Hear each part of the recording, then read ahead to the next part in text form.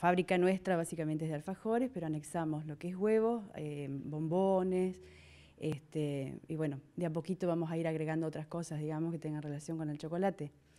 Y en cuanto a los huevos de Pascua, bueno, la verdad que eh, tienen mucha aceptación, gracias a Dios, porque utilizamos buen chocolate, hacemos una combinación de chocolates también para darle con un sabor eh, más rico, eh, más apetecible sobre todo para los chicos, que son los que más consumen.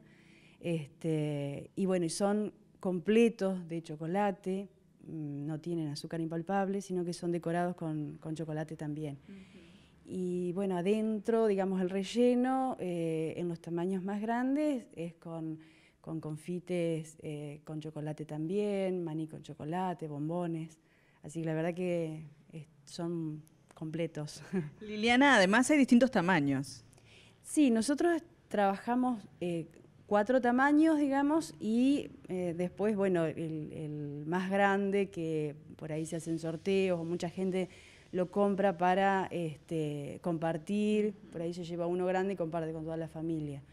Y si no, bueno, son cuatro, cuatro tamaños. ¿Y de los tamaños cuáles son los más demandados? En realidad eh, va cambiando con los años, digamos. Eh, hay temporadas que son los más chiquitos. Eh, el año pasado nos pasó que fueron los tamaños intermedios, mm, los dos intermedios. Este, y bueno, y este año la verdad que está como parejo. Vamos a ver más cerca de, Pascua, que, es donde la gente más compra, digamos. ¿Cuáles son los precios promedios? Y tenés este, desde 25 pesos a 127 pesos. Y después nos, y el más grande que sale 400 y pico.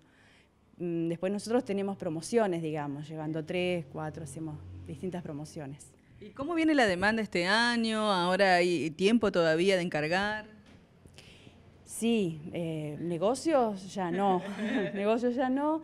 Normalmente pasa que todo se deciden a último momento, entonces estamos bastante complicados.